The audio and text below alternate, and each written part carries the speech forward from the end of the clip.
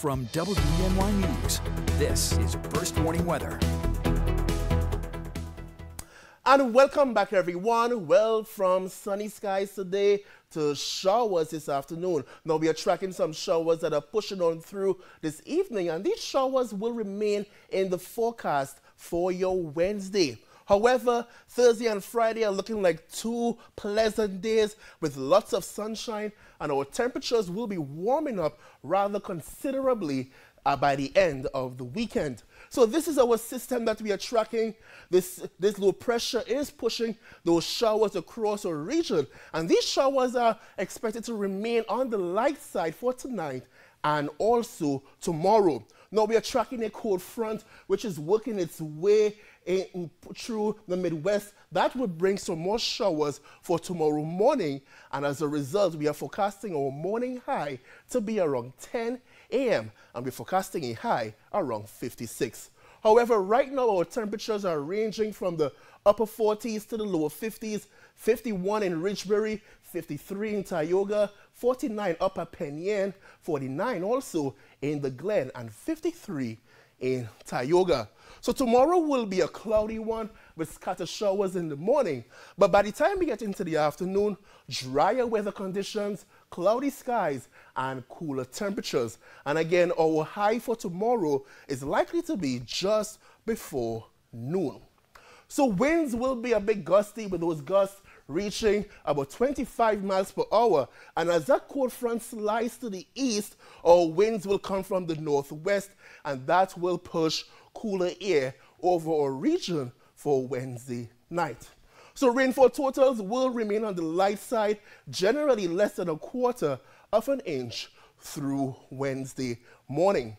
So as we head into Thursday, we are watching an area of high pressure which will dominate across our region, causing sunny skies. And these sunny skies are likely to persist into Friday. So again, Thursday and Friday are looking like two pleasant days.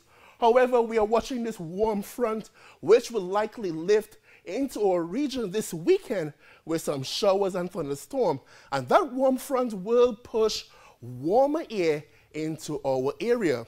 As a result, by the end of the weekend, we could be dealing with temperatures in the 80s. Sunday, we're forecasting 80 degrees and maybe 84 by Monday.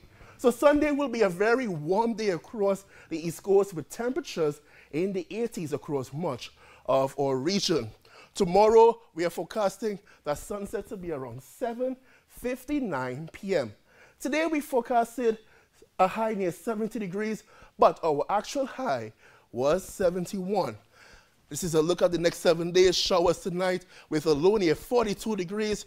Showers are looking likely tomorrow morning with a high around 56 and much, much warmer by this weekend.